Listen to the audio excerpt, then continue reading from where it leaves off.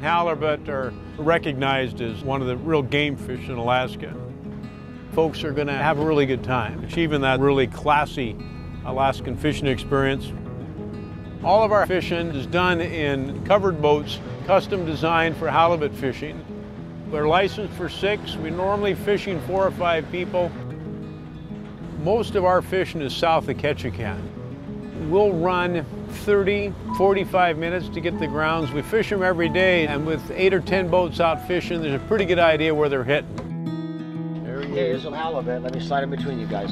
Uh, there's a bit of artistry in catching halibut. There's good instruction so everybody understands what they're doing. They're not frustrated in the fishing experience.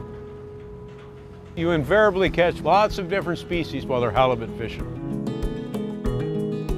You'll set and fish for 30 minutes, an hour quite often. You'll limit out in that one spot, and then you'll have time to run somewhere else. It's a halibut. I got it! They leave here absolutely confident that they chose the right tour. To get on the water quickly, they've got good gear, they've been treated respectfully, and the guide's knowledgeable. It's the whole package. And people are going to come back happy.